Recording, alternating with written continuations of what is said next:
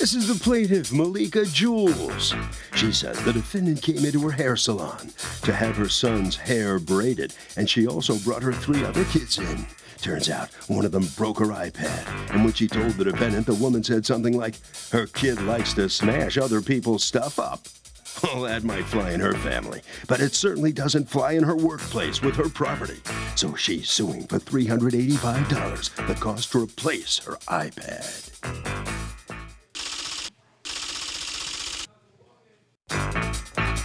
This is the defendant, Shamika Chambers. She says her kids and the plaintiff's daughter were all playing together and everything was fine. Two weeks later, she goes back to the salon and the plaintiff tells her she owes her money because her son supposedly broke her iPad. Now the plaintiff has badmouthed her all over the neighborhood. She has no proof nor evidence her son was the one who broke her property. And she certainly isn't buying her a new one. She's accused of not supervising her kids.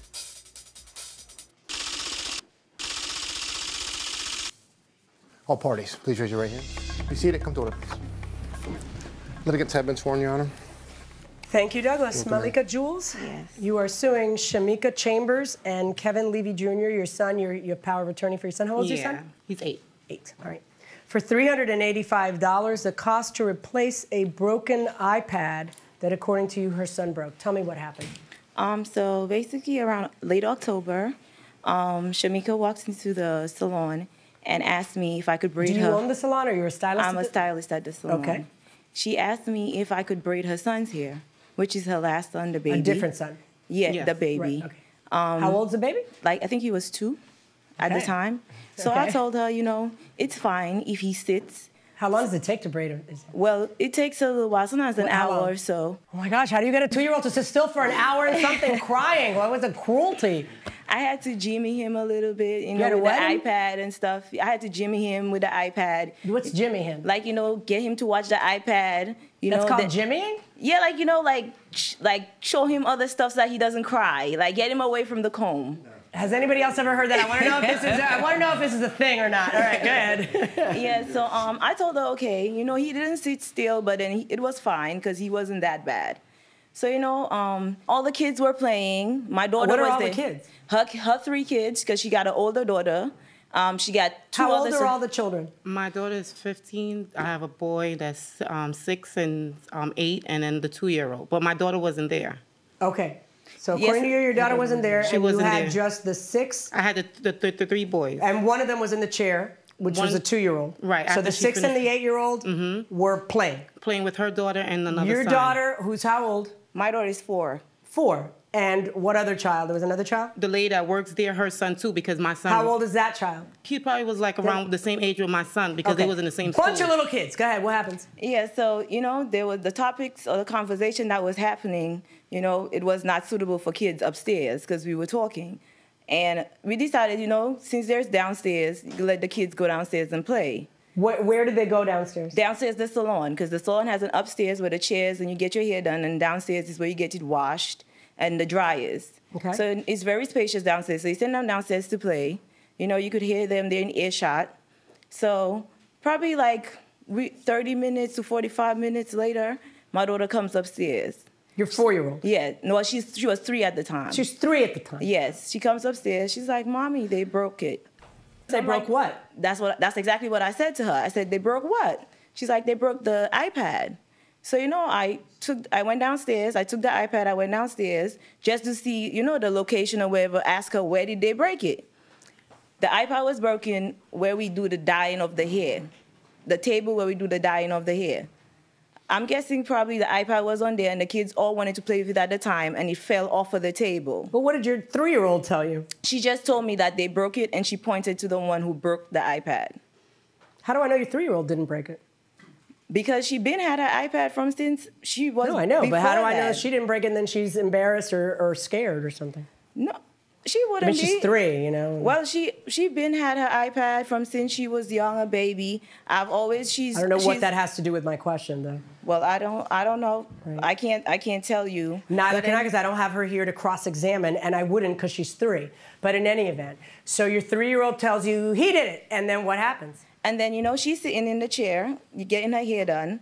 So I go to her in the chair. I say to her, you show her the iPad? Yes, I show her the iPad, and I said, Shamika, my daughter says that your son broke the iPad. So she goes, which son? So I told her, you know, the one before the baby. I point him out to One her. before the baby. Yeah, that's the, the other son before her last son. I don't know their names. I don't know their ages. Okay. I just know that he was the son before her last son. Because you know they come in sizes. You, you, you, you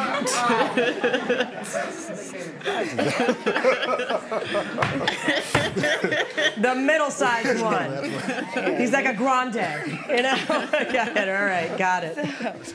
she yelled Did she at call him. him over? Yeah, she Did she at ask him yes. if he did it? Yes, she yelled And at what him. did he She's say? Like, um, you broke that iPad. I told you about touching people's stuff. Come over what here. did he say? I guess he didn't say anything because he didn't say anything because he a kid. Okay.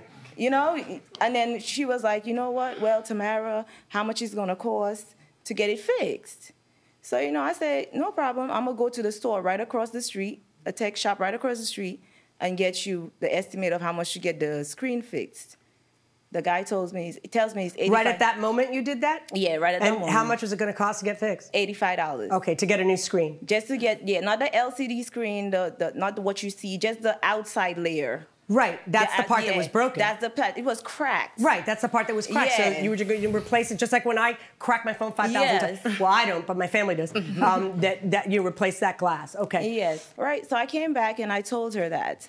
She's like, fine, okay, you know, no problem. She's going. She's gonna get it Did done. Did she take the iPad with she her? took the iPad. Did she walk across the street? She took no. I didn't see her walk across the street. I You saw thought she was going to walk across the Yes. street. She took the iPad and she left the store. Right. She, that confirmed And then what happened? It. She comes back to the store like a couple minutes later and she told she tells me, I'm gonna drop you off the receipt. So basically after that, I never after that I never heard from She never came back to give you the receipt. She never came back to give me the receipt. So did you call her? I did. I found a number for her. What do you mean you found a number for her? Yes, you I let her walk off with your iPad and you didn't take her name and number? No, I found a number for her. Wait, wait. She, she's You a regular. off with your iPad She's a regular stylist in the shop that I work. I see her all the time. She lives around the way. Her kids go to school around the, the around the block. I see her all the time. I see her kids all the time. A couple weeks later, I got uh, the wrong phone number for her at first. So I was basically texting the wrong phone number, asking for. Let me just say that when you give somebody your iPad, you should be taking a picture of their license, and you should.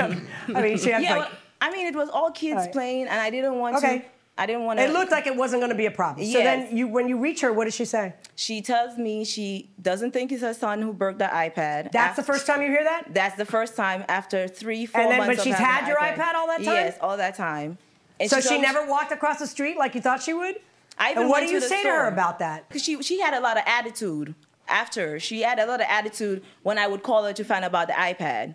Wait, So does she, is she ever telling you things like yes, yes, I'm going to get to it, or does she from the beginning say to you, I'm not fixing that iPad. I don't even know if it was from my the son. beginning, she goes, "I will fix your iPad." What did you ask her? Why the heck didn't you take it over right there? I asked her. And what'd she say? She nothing, no contact. What's She's going like, on? Stop. What's going on? Okay. I went to go get my hair done at the hair No, no, we so do not need to hear about your hair.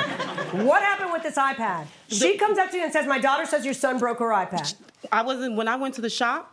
She never told me that date. I went back two weeks later because my um aunt husband died, so I had to get a touch up. That's when she came to me and said that she never got a chance to take it to the place across the street. So I said, okay, give it No, to no, me. no, wait, wait, wait, wait, wait, wait. On the day in question, did she walk up to you no, with the iPad I and didn't show it know until two weeks later. Did she, on the day in question? No. I haven't asked my question yet. Welcome back to the People's Court. Harvey Levin here. So, uh, what about the fact that she didn't confront her at the salon, didn't even complain or call her for two weeks? I think it's a little suspect because if you had an issue that day, you should address it same day and not come back two weeks and try to make it a bigger s- a bigger thing. Well, since there were other kids in the salon and she didn't confront her, does she really have the goods to win this case? I don't think she does at all. I mean, uh, if you if your iPad broke and you thought somebody else did it, how long would it take you to confront that person if they were in a salon with you? Right on the spot. Right on the spot, right? Going inside the courtroom. On the day in question, did she say to you, your son broke my iPad? No. So according to you, the first you hear of anything is two weeks later Two when you weeks walk later. in. Are, is it children, are the children with you when you walk in? My no, because I just asked my hairstylist. What say you to what she just said, that you never even mentioned it until two weeks later? That is not true. Okay. And even the t- oldest daughter, she said that was not in the shop. She was in the shop. Okay, so so according to you, two Mm. weeks later, she says to you, "Hey, t- oh, two weeks ago, your son broke my daughter's iPad. Right. Right. And what do you do? My thing is, I was like, all right, where's the iPad? How we know he did it? Right. And she said her daughter p- point him out. So fine. I'm not into the back and forth. So I said, okay, give me the iPad and I'll fix it. I'm sorry. So you you say that you first learn of it two weeks later. You say you don't even have a chance to confront your child. You say a three-year-old identified him a week ago, and you say, "Oh, okay, here, give it to me. I'm going to have it fixed." Really? that sounds nutty on your part. Not really, because she when she told me and it was a whole bunch of kids playing. So I'm like, you know what? They maybe it could have happened. I didn't ask any questions. I said, all right, I'll just fix it. All right. So then, why don't you go fix it? When she told me about to the the guy across the street was going to do it, she said it was like a hundred and something dollars, and I was like, well, that's expensive. I was like, let me see if I can get someone because when my son iPad Did you ever make any effort to get the glass fixed by somebody else? Get another estimate. Absolutely. What were the estimates? Let me see them. I I don't mean once you got sued, honey. I mean back then. Well, I don't have that paper because I took it to the Apple store to find out how oh, much. Oh, it's gonna was. be cheaper.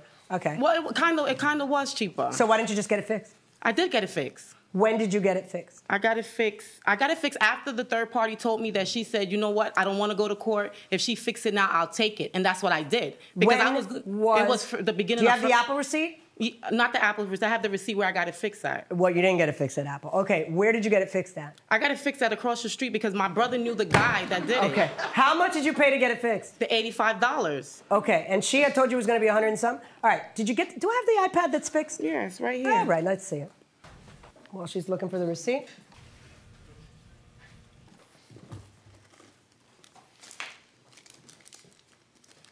How old was this iPad? Um, I got it back in Way back. way back, yeah, Yeah. when it first came out. It's working like a charm. Yes, it should be because it was when I left it. Okay. Hand her her iPad. Did you ever talk to your kid and ask him, hey, did you drop it? I did. And what'd your kid say? He said, um, he said it was the other little boy that went with him in school, and then I knew that's how I knew it was gonna be like too much back and forth, and then the parent gonna say no, and and I'm like, I could, I can't, I couldn't. So I no, just, I know. I, I, so- I understand that. Like, I understand that sometimes it's just easier to get out of it. Right. But, like, I'm kind of curious as to why you accepted responsibility to begin with. If it happened, like, a week later, just somebody comes in and says, hey, a week ago, your eight year my three year old says your eight year old, blah, blah, blah. They why would you even take it? That's that's my fault on my You- uh, part. you think? Because- yeah, that's my fault because Okay. they. I felt How's it we sh- looking? it's good. Pretty good, right? Yes. Case closed. Good luck, folks. Thank you. Okay, so everybody's happy now? Are you happy with that ruling and how it came out? Yeah. Cost you some money. Not, yeah, but not that much. It really doesn't matter. Now, are you convinced uh, that of who broke that that iPad at this point? Now it was all these kids playing. I, if it was me, I would have went half and half. But it really doesn't. Eighty-five dollars. I pay more for hair, so it's okay. Yeah. Speaking of the hair, who, who does your hair now? Well, she don't. I don't go back there because the what she, just a whole bunch of stuff. So she lost a customer. She Mm, got her basic- iPad. But the person that does my hair is not even working there anymore. So oh, yeah. all right, all right, all right down there. All right, you got your iPad and you lost a customer. No, she wasn't my customer. She was my coworker's customer. All right. Well, the place lost one. Well, um, we don't need deceitful customers anyway. Really? Deceitful, yes. Well, you got your iPad. She did the right thing. Eventually. Anything else? No. Harvey. Okay, doke. Um, as she said, um, if somebody breaks your property or damages your property, it is really important you confront them immediately. The longer you wait, the more you compromise your rights. And that will do it for this case. Litigants for the next case on the way into the courtroom right now.